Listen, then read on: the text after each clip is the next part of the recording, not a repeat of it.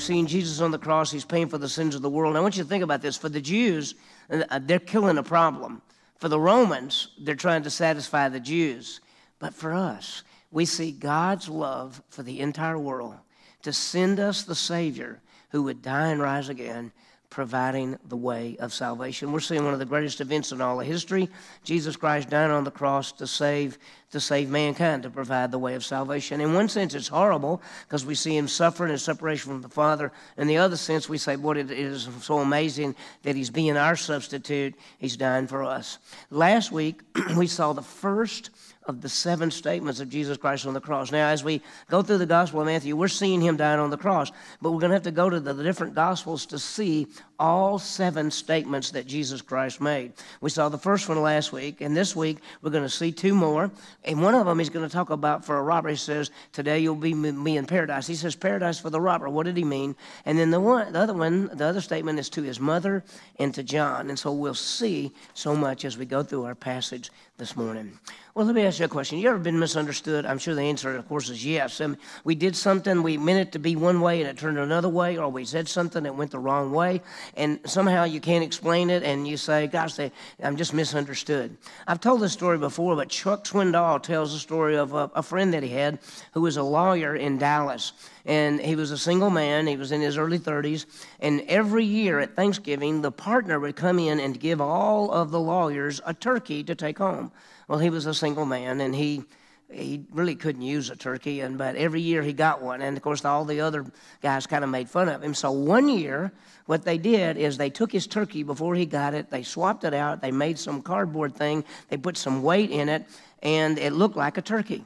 And so when he got his turkey, he thought, well, I got my turkey. And so as he on the way home, he uh, boarded, uh, you know, a bus that he would take home, like a, you know, one of those things. And, and as he was traveling, he looks over and he sees a man who looks pretty pitiful. And they started talking, and the man told him that he was a Christian and that he just lost his job and he had three children and it was Thanksgiving and he had no money or anything. And so the friend says, Look, I've got a turkey. I never use it. Uh, this is a turkey they give me every year. I never use it. Let me give it to you. And the guy said, No, I can't take it. Can't take a handout. He said, Let me give it to you. The guy said, Well, I have a dollar fifty. And the guy said, Okay, give me your dollar fifty. I'll give you the turkey. So he got that. And then he, he thought, wow, this is amazing. Somebody could use that turkey. Well, the next Monday, when they all got back to work, all the guys started saying, How did you like your turkey? And he said, Well, I, I actually gave it away. And they went, What? And then they began to tell him what happened. And all of a sudden, he realized that he had get, taken a man's final dollar fifty who had no job and three kids and basically told him it was a turkey when it really wasn't. And so it said for the next four, five, six weeks, he would take the same bus every, every evening going home, seeing if he could find that man. But he never found him. And he thought, you know, he was really missing. He, that, that guy probably thought, You really are a jerk. You took my last money and you gave me a false turkey. Well, some, you know, he was misunderstood. And sometimes Sometimes that happens to us. Well, you know, this morning we're going to see the religious leaders and the people, they misunderstand what Jesus is doing. They're saying things like, if you're the Son of God, come down from that cross. If God's really for you, come down the cross. They don't understand. They're misunderstanding what he's doing. He's down on the cross to pay for the sins of mankind. They misunderstand what he is doing. So as we begin this morning, we're going to see Jesus dying on the cross. If you remember, we, he's already gone through six trials three before the Jews, all found guilty, three before the Romans, all found not guilty. And yet, uh, Pilate turns him over, and uh, so he's sent to be crucified. In fact, our verse this morning, we begin at Matthew 27 35. It says, And when they had crucified him, so they've, they've put him on the cross. And so that's what we saw last time. He is laying down his life for us, he's been put on the cross. He's been mocked, beaten, and he's taken to the place called Golgotha, which is Aramaic for the place of the skull. The word Calvary is Latin for the place of the skull, and so that's where he is. Now, last time we began to see the first of the seven statements of Christ on the cross. I want you to see what they are, and as you notice, we'll have to go to different places. The first one was, Father, forgive them, they do not what they're doing. Today, this is the one for this morning. Today, you'll be with me in paradise, and also, woman, behold your son. Those are the three. We'll see two of those today. And then he's going to go on and say, My God, God, my God, why have you forsaken me? That's in Matthew. And then I thirst in John 19. And then it is finished in John 19 30.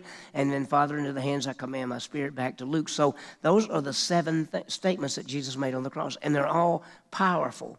It's an amazing thing. On the way to the cross, he opened not his mouth like a lamb to the slaughter, and yet on the cross, he says certain things. So we saw last time, Father, forgive them. We realized that in Jesus Christ, there is forgiveness of sins. That was the first one. This, this morning, let me give you a, brief, a real brief outline, but we're going to see the crucifixion and the crowd. That's what we're going to look at 27, 35 through 43, and we're going to see the charge, what's there, in the crowd, and then we're going to see the robber. We'll have to go to different places to see all these, as we've already mentioned. So let's look again at verse 35, and it says, And when they had crucified him, they divided up his garments among themselves by casting lots. Well, after they crucified Jesus. Now, we already know, and we've talked about crucifixion. We'll talk more about it a little bit later on, how horrible it was.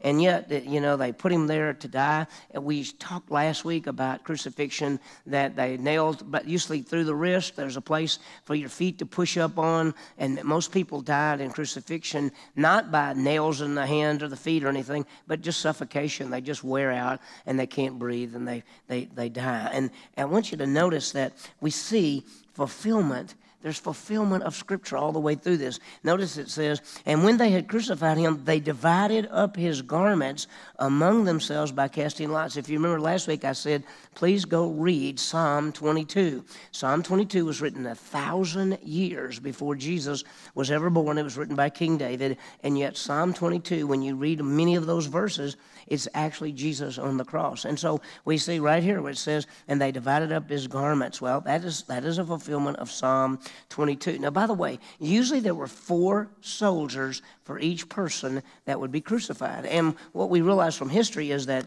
the soldiers would be able to take whatever property, whatever that person had, whatever clothes. And so if you notice, it says, and when they crucified him, they divided up his garments among themselves by casting lots. A normal person, and this would be Jesus, will be this. Now, they normally had four different things. They would have a headgear, like something to wear on their head. They would have an outer cloak. They'd have a girdle that was something on the inside, and then they would have sandals. And that's what they normally had. But Jesus also had what was called an inner garment. And, and listen to this. This is in uh, uh, inner garment. This is in John 19. It says, Then the soldiers, when they had crucified Jesus, took his outer garments and made four parts a part to every uh, soldier, and also a tunic. Now, the tunic was seamless, that's the inside part. It was woven in one piece. So they said to one another, Let's not tear it. Let's cast lots for it to decide who it shall be. And this was to fulfill the scripture. They divided my outer garments among them, and for my clothing they cast lots. Not only did they divide the outer part, but the inner part. That is a fulfillment of Psalm 23 18. They divided my garments among them, and for my clothing they cast lots. Realize a thousand years before Jesus was ever born, David wrote that down. So they've done it. It says they, they crucified him, they divided up his garments among themselves by casting lots. There were so many prophecies fulfilled when Jesus was on the cross. And if you read Psalm 22, you're going to keep seeing more and more. Look at verse 36. It goes on to say, And sitting down, they began to keep watch over him there. Sitting down, they began to watch. It was their job to basically had to stay there until he died, and sometimes that could be several days. Now, uh, they, they take it for granted. I mean, how many crucifixions have they done? How long have they been there? And sometimes we take the crucifixion of Jesus for granted. Because think about this. Sometimes we've heard the message so many times. We say people say, "No, you know, Jesus died on the cross to pay for sin," and we say it as if it's no big deal, but we don't even realize what it meant to die on the cross and to be separated. And sometimes even those we have believed in Christ, we take for granted what he has done for us. And so we never want to do that. But there they were. They're just sitting down and they're just keeping watch. And they're, in a sense, they don't really, really care. Look at verse 37. And above his head they put up the charge against him, which read, This is Jesus the King of the Jews. Now, the total charge, if you put all of the Gospels together, is this is Jesus of Nazareth, the King of the Jews. And so sometimes they actually put the charge around their neck, and it was draped around their neck. And then other times it's put back up on the cross. And the best we can tell, it was, it was put up against the behind him, and uh, it uh, gives the background. And it said, This is Jesus of Nazareth, King of the Jews. This, by the way, this is the gospel. This is the, the purpose of the gospel of Matthew to present Jesus as the King of the Jews. Now, it doesn't tell us here, but it tells one of the other gospels that the message was in three different languages. It was in Hebrew, Latin, and Greek. It was Hebrew because that was the Jewish people, remember? And he's King of the Jews, so they wanted them to be able to read it. It was in Latin, which was the language of the law of the Roman government, and it was Greek also, which was all people. So if you look at one of the other Gospels, it tells you that the statement, this is Jesus of, Jesus of Nazareth, the King of the Jews, it was written in three different languages. Now, watch, watch this. It goes on and says, At that time, Two robbers were crucified with him, one on the right and one on the left. Now, we talked about this last time. We said that there were supposed to be three robbers, one guy by the name of Barabbas, and these two guys were supposed to be put to death. But Jesus, basically, Jesus took Barabbas' place.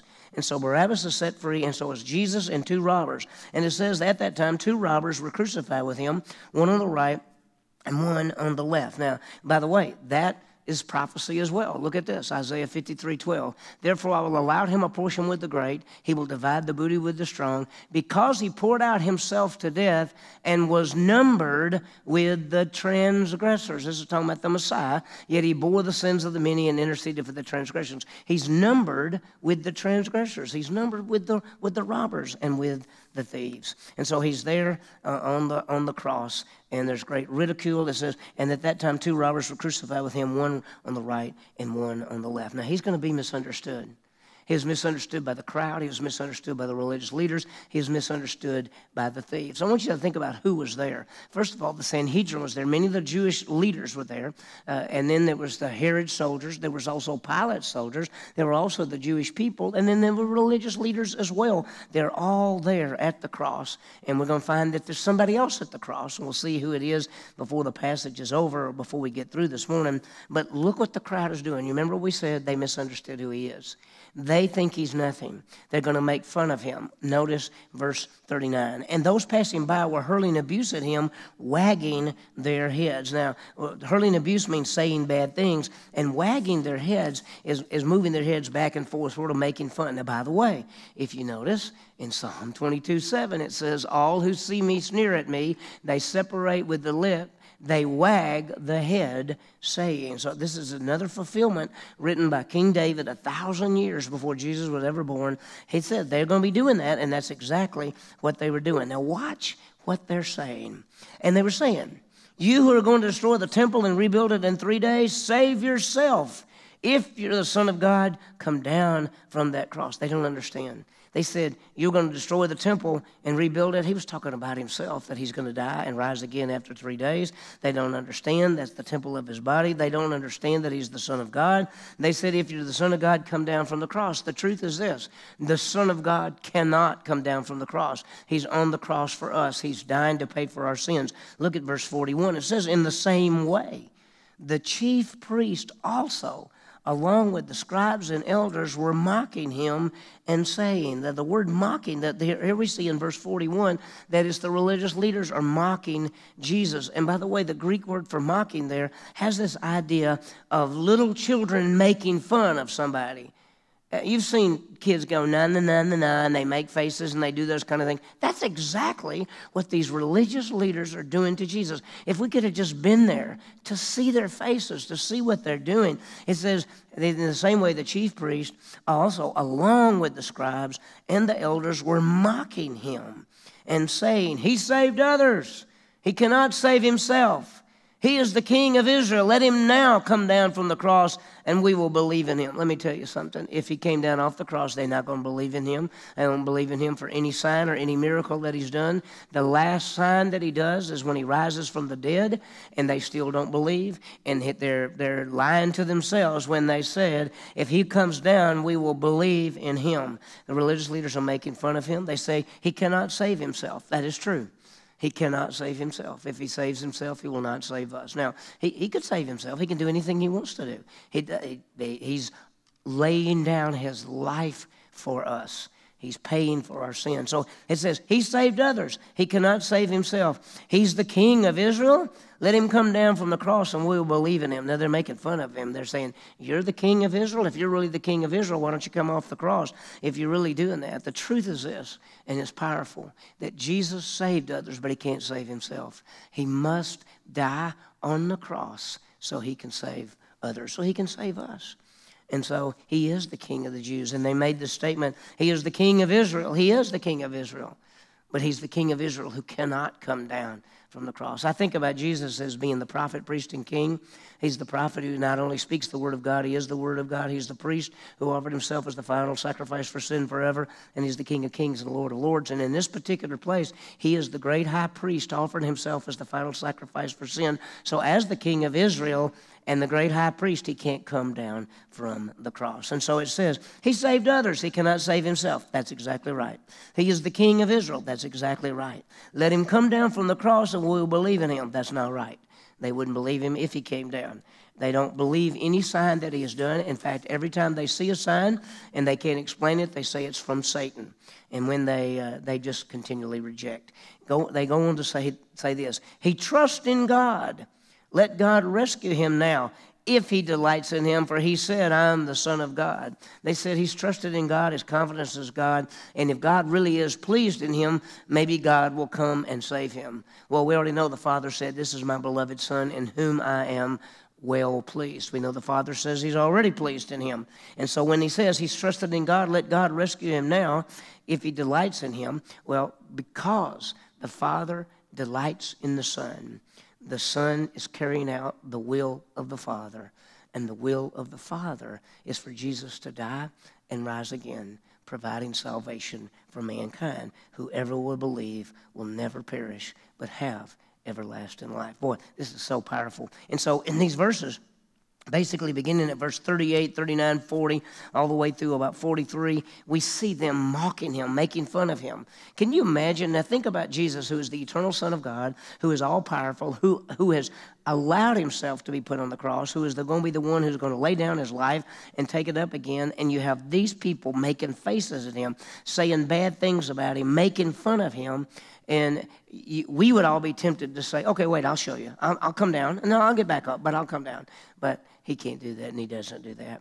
So watch what happens. Look at the next verse. The robbers who had been crucified with him were also insulting him with the same words. Now, when we first see him, we see the two robbers, one on the right and one on the left, and they're doing the same thing. They're making fun of him. And they're probably saying, if you want to save, save, you know, save us too. If you want to, if you can save yourself, why don't you save us? The robbers who had been crucified were insulting him.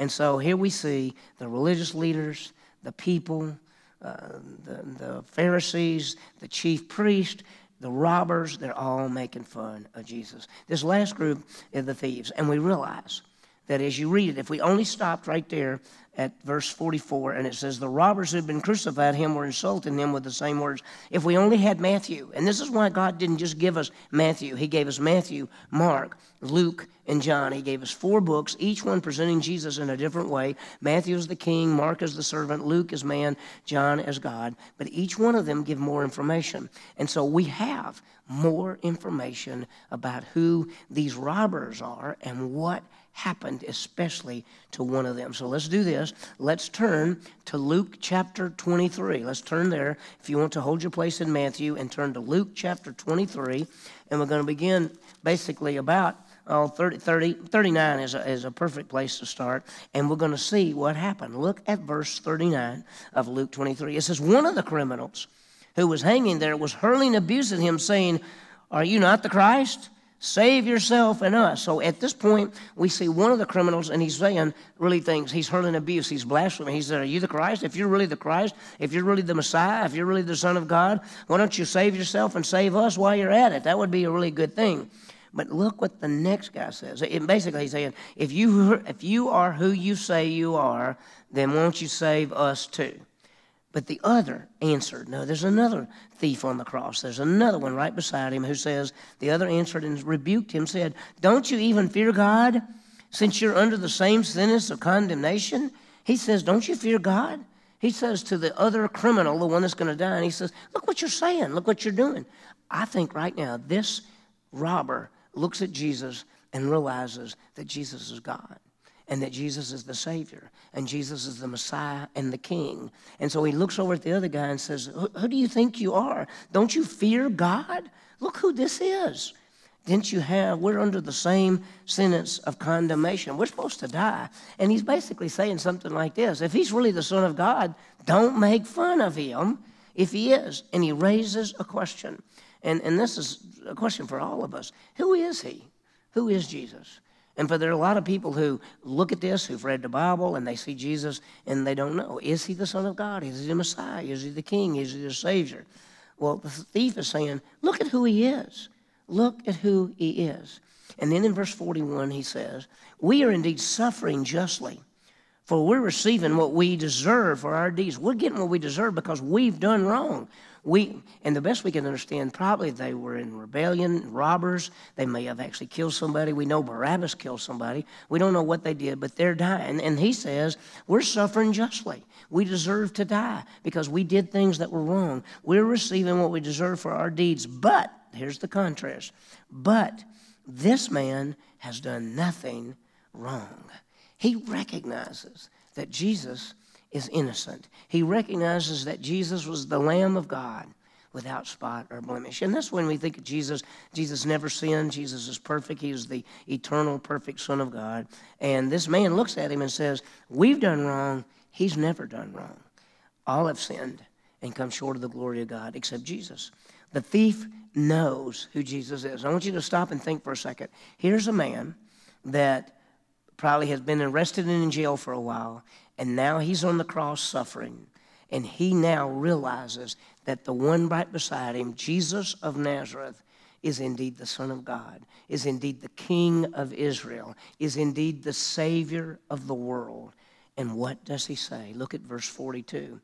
And then he was saying, Jesus, remember me when you come in your kingdom. Remember me when you come in your kingdom. Now, what, that's, a, that's kind of a strange statement. We'd say, why wouldn't he just say, save me? Well, listen, you know what he's recognizing? What's Jesus being crucified for? What does the sign say? Jesus of Nazareth, King of the Jews. He recognized Jesus is the King of the Jews, that he is the King of kings and the Lord of lords. He's the one that takes the throne of, of, of the king, great King David. He's going to rule in righteousness and justice. And so he says, Jesus, don't forget me. Remember me when you come in your kingdom. He recognizes that Jesus Christ, he recognizes Jesus Christ as the King, the Messiah. He believes that he is the Savior, the King, and Messiah. And he says, when you come in your kingdom, because he knows that Jesus is going to die, but Jesus is going to come back. Jesus is going to come back as a king, and he's going to rule in righteousness and justice. And he says, Jesus, when you come back, when you're coming, when you come in your kingdom, don't forget me. Dwight Pentecost used to be professor at Dallas Seminary, said he recognizes Jesus as the promised Messiah and he believes in him.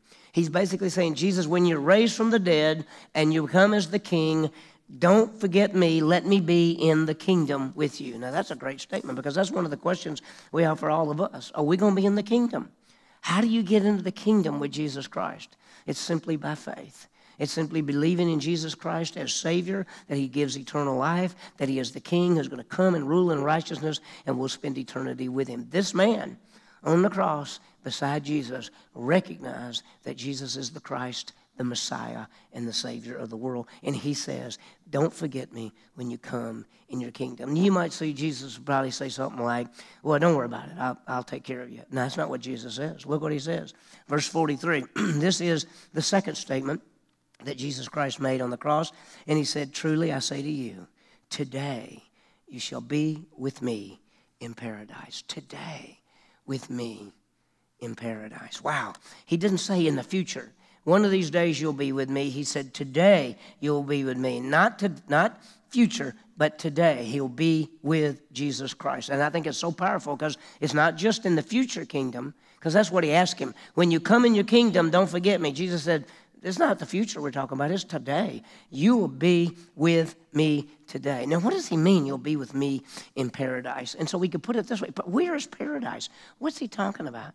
Well, what we understand is that, and, and the best place to go is to Luke chapter 16, where it gives us the aspect. Let me, let me remind you of something. In Luke chapter 16, we find that there's a place in the heart of the earth.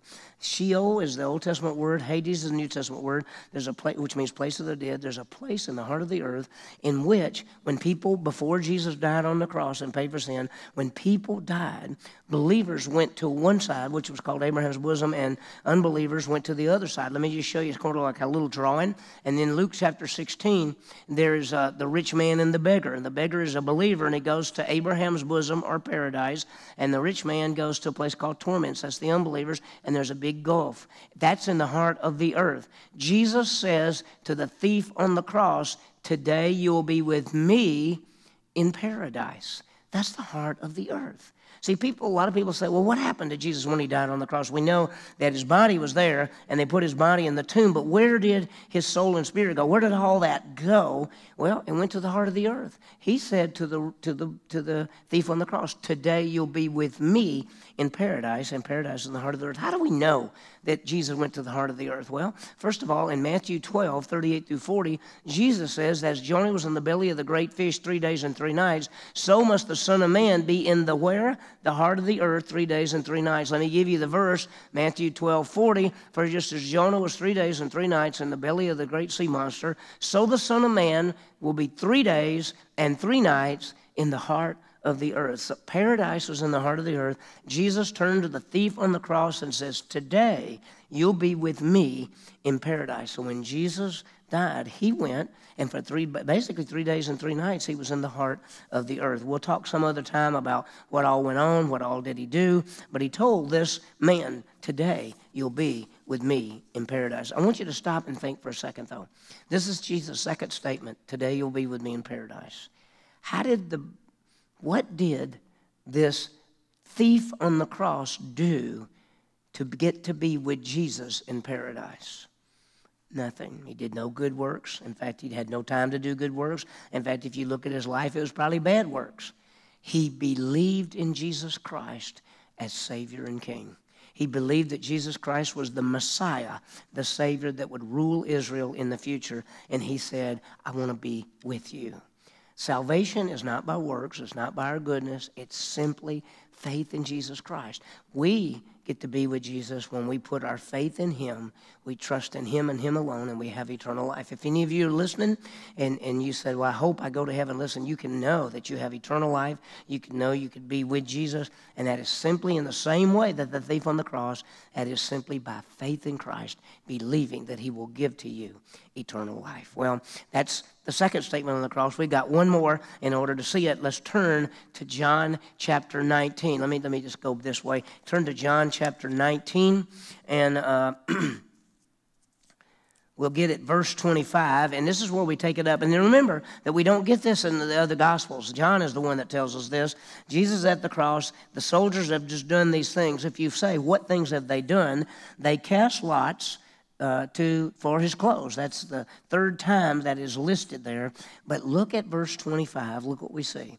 Therefore the soldiers did these things, but standing by the cross of Jesus were his mother and his mother's sister, Mary, the wife of Cleophas, and Mary Magdalene. Now I want you to understand, at the cross of Jesus Christ are women. There are at least four women. What is so amazing is three of the four women's name are Mary. First of all, there's Mary, which is the mother of Jesus. There she is. Then there is Mary's sister. Her name is Salome. She's the wife of Zebedee. And then there's Mary, who's, who's just all she's known as Mary is the wife of Cleophas. And then there's the one that's sort of famous, Mary Magdalene, who Jesus had cast out seven demons from her. And so there they are. At the cross is Mary, the mother of Jesus, Mary's sister, Mary, the wife of Cleophas, and Mary Magdalene. So three of the four women at the cross watching Jesus all have the same name. It is Mary, and they loved him. They had followed Jesus. They and th- this goes back to Luke 2, where the prophecy to Mary was a sword will pierce Mary's heart, and she's seeing her son Jesus Christ down on the cross. Now, look what happens. When Jesus, this is verse 26, we got to see the third statement on the cross. When Jesus saw that his mother and the disciple whom he loved standing by, he said to his mother, Let me stop. He saw his mother, that's Mary, and the disciple whom he loved, that's John. John calls himself the disciple who Jesus loved. He saw them standing by. So at the cross is Mary and Salome and Mary and Mary Magdalene and John. And he says, when Jesus saw his mother and the disciples who he loved standing by, he said to his mother, Woman, behold your son. And then he said to the disciple, Behold your mother. So the one that he loved is John. And what does he say? Here's what he says He says, Woman, this is your son. John, this is your mother. Basically, what Jesus is doing is entrusting his mother to the care. John's going to take care of his mother. And we don't know how much longer she lived. We know that in Acts, in the first chapter of Acts, uh, she was there in the upper room praying with everybody, but she's not mentioned after that. We just don't know how long she lived. But it, John was entrusted by Jesus Christ to take care of Jesus' mother. Now, you could say, well, but, but Jesus had brothers. In fact, he had four brothers. Why didn't, why didn't one of them take care? Well, the best we can tell is none of his brothers were believers. And so Jesus wanted his mother to be with the believers who who are basically about ready to take the message to the world. Now, there's a tradition. I put this up here. Tradition is that John's mother was the sister of Mary. That's tradition. So some people say that's the reason. One of the reasons he entrusted her to John is because that was that was her sister's boy. I don't know. I just put that up there. That's tradition. But we do know that none of the other brothers at this point believed in him. They will. They will after the resurrection. In fact, several of them, James and Jude, are two of the brothers of Jesus, and they, they write books in the New Testament. So we see one of the great truths is that the family, family in the Bible, is not just necessarily based on physical things, it's based on spiritual. When you believe in Jesus Christ, you become a child of God, and therefore you have brothers and sisters. Well, what have we seen? We've seen three statements so far on the cross. He says, Forgive them, for they don't know what they're doing. There's forgiveness. He's seen eternal life with Jesus Christ. He told the guy, Today you'll be with me, not in the future, but today you'll be with me in paradise, in the heart of the earth. And then he trusts his mother to John. So we've seen a lot. And then next week, we continue to see what happens with Jesus on the cross. We're also going to see some more of the statements. In fact, next week's statement is one of the most powerful statements in the Bible, and we'll see how it fits together. Let me give you some applications. First one is let's remember what Jesus did on the cross. Let's not forget what he did. First of all, he died to pay for all sin. So when we see Jesus dying on the cross, he's paying for our sin. John 1 29, that uh, he's the Lamb of God who takes away the sin of the world. 1 John 2 2, he's the satisfactory payment, not for our sins only, but for the sins of the entire world. So the sin of the world is paid by Jesus on the cross. And so when Jesus is separated from the Father, and we're going to see more of that next time, he's paying for sin. So let's not forget. Let us let's remember what Jesus did on the cross. He paid for sin. The second thing is this though. Jesus offered forgiveness and life. We have seen that already on the cross. He offered forgiveness at the cross. When they were crucifying him, he said, Father, forgive them. They don't know what they're doing. So there's forgiveness. But he's also offered life because he said to the thief, Today, not the future, but today, you'll be with me in paradise. That's life with Christ forever. So let's remember what Jesus did. He died to pay for sin, He offers forgiveness and eternal life. And there's a third thing, and that He offered comfort. He offered comfort because he, to Mary and John, he said, Behold your mother, behold your son. And that was a comfort because he knew that his mother's heart was broken watching him die. Uh, she didn't know what was going to happen necessarily. And so she's entrusted there. So think about what all happened on the cross. Now, there's a second application, and I want you to think about that. Let's, let us realize that salvation is by faith in Christ, and it is not the works we do. It, there's so many confusion of people thinking that you do something to get to heaven, you repent of sins, or you give your life to Jesus, or you walk down an aisle, or you get baptized, or you try to live a good life, or you teach the Ten Commandments. The truth is this none of those have anything to do with salvation. Salvation is a gift simply by faith alone in Christ alone. What did the thief on the cross do to have life? Absolutely nothing. He believed that Jesus was his Savior, he believed that Jesus was the King who was going to come rule in righteousness, and he said, Don't forget me when you come, remember me when you come in your kingdom. And said, Jesus said, today, right now, today, you'll be with me in paradise. So realize salvation is a gift. Ephesians 2 8 and 9, it is by grace you are saved through faith, and not of yourselves, the gift of God, not of works, lest anyone should boast. So we just never want to forget that salvation is a gift. I hope and pray that every person watching has already put their faith in Jesus Christ as Savior and that they know have eternal life because they've trusted in Him to give them eternal life. If for some reason you never trusted Christ, as we mentioned earlier, right where you're sitting, right where you're watching, you can put your faith in Jesus Christ. You can trust in Him and Him alone to give you eternal life. It is not based on your goodness, your faithfulness, your works, your service. It is a gift of God given simply